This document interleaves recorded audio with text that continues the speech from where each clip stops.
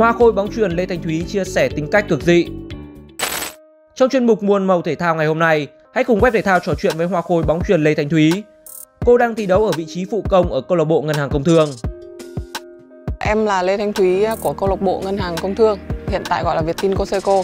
Năm nay em 26, chiều cao của em tầm 1m80 và vị trí của em là phụ công và có thể chơi đối chuyển. Tầm đánh ờ, em lâu em không đo thì chắc cỡ 2m98, tầm chắn cũng tầm tầm đấy. Nóng tính, à, chân thành và thẳng thắn.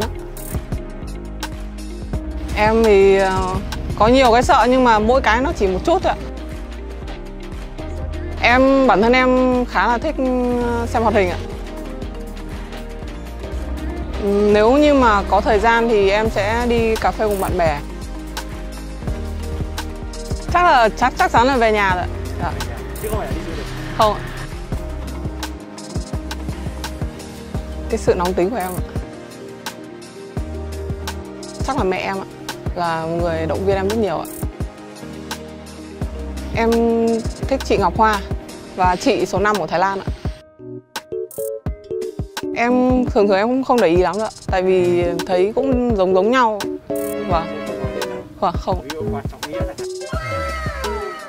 Bình thường. Dạ. Chắc là VTV Bình Điền à, năm 2016 á. Dạ, lần đầu tiên tại vì đấy là giải lần đầu tiên đội đặt cúp vô địch ạ.